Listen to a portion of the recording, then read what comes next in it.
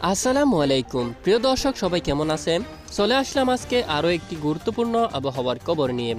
বাংলাদেশ আবহাওয়া অধিদপ্তর থেকে পাওয়া এই মুহূর্তে সর্বশেষ গুরুত্বপূর্ণ আবহাওয়ার খবর।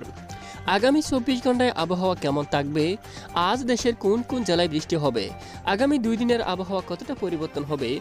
কি বলা হচ্ছে বাংলাদেশ আবহাওয়া রিপোর্টে? বিস্তারিত জানাব এই ভিডিওটির মাধ্যমে। ভিডিওটি শেষ পর্যন্ত দেখার চেষ্টা করবেন। ভালো লাগলে একটি লাইক করবেন। আর আপনি যদি আমাদের এই চ্যানেলের নতুন দর্শক হয়ে এসে থাকেন, চ্যানেলটি সাবস্ক্রাইব করে পাশের বেল বাটনে ক্লিক করে রাখবেন। আর আপনি আমাদের আবহাওয়ার এই খবরটি বাংলাদেশের কোন জেলা থেকে দেখছেন, কমেন্ট করে জানিয়ে দিন। এইবার জেনে নিব এক নজরে। বছরের নতুন ঘূর্ণিঝড় অশনি এখন দক্ষিণ পশ্চিম বঙ্গোসাগরে ভারতের অন্ধ্রপ্রদেশ উপকূলে অবস্থান করেছে।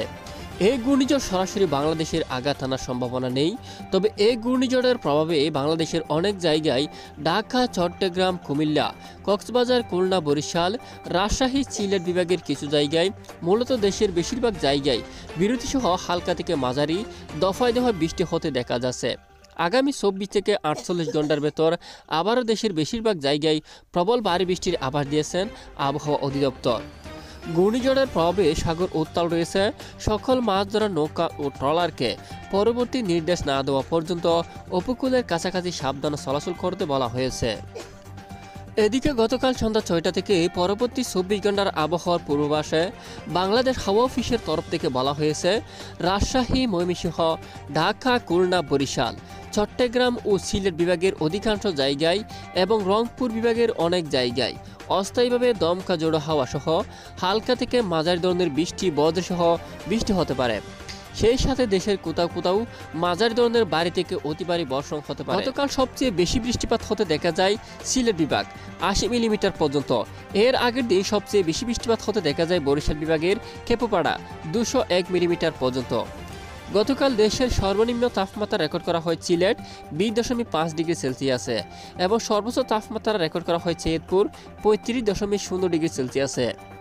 এই সময় ঢাকা বিভাগের সর্বোচ্চ তাপমাত্রা ছিল একত্রিশ দশমিক আট ডিগ্রি সেলসিয়াস এবং চট্টগ্রাম বিভাগের সর্বোচ্চ তাপমাত্রা ছিল বত্রিশ দশমিক তিন ডিগ্রি সেলসিয়াস।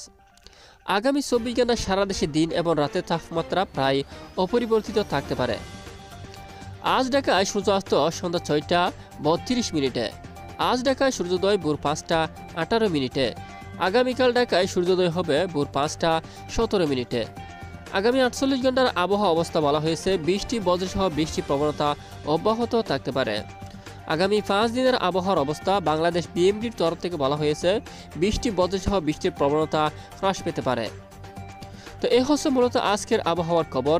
প্রতিদিন নিয়মিত আবহাওয়ার সঠিক খবর পাওয়ার জন্য আমাদের সাথে থাকুন। আর এতক্ষণ আমাদের সাথে থাকার জন্য ধন্যবাদ।